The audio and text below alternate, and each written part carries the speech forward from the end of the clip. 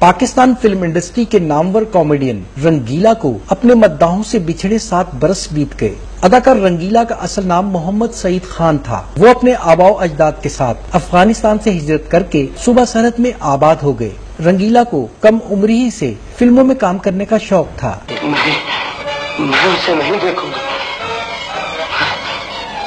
मैं ये शहर ही छोड़कर चला जाऊँगा।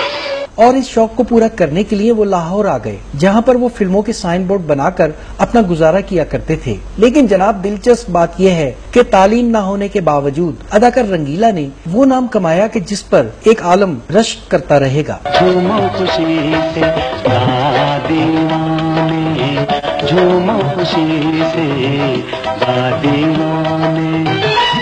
से तेरी तकदीर मिली।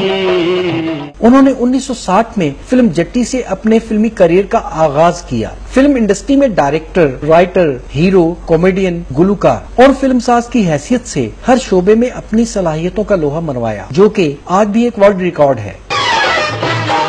दिखला के दिल ले लिया बिजली गिरा के दिल ले लिया वो मर गई मुझसे हाय अल्लाह। तुम्हारे गाने से मुझे याद आ गया है। क्या? जब रज़ी और मैं मिल के बैठते हैं ना तो यूँ लगता है जैसे बकरी और गधा बैठे हैं। अदाकार रंगीला 40 साल तक फ़िल्म नगरी पर राज करते रहे। उन्होंने तकरीबन 500 से जायद फ़िल्मों में अपने फन का मुजाहरा किया और इस तरह कई फ़िल्मों के अवार्ड्स भी अपने नाम किए। उन्होंने पाकिस्तान फ़िल्म इंडस्ट्री में बेमिसाल गुलकारी भी की और उनके गाए हुए गाने आज भी आवाम में बेहद मकबूल हैं। किसी पे आए दिल तेरा कोई दुखाए दिल तू भी कले जा थाम कर मुझसे कहे के हाय दिल अदाकार रंगीला बिलाशुबा एक अजीम तरीन और एहतसाज फनकार थे जिसे हमेशा याद रखा जाएगा। उनके मजाया किरदारों का ज़िक्र करने के लिए एक उम्र दरकार है। मैं तेरी हो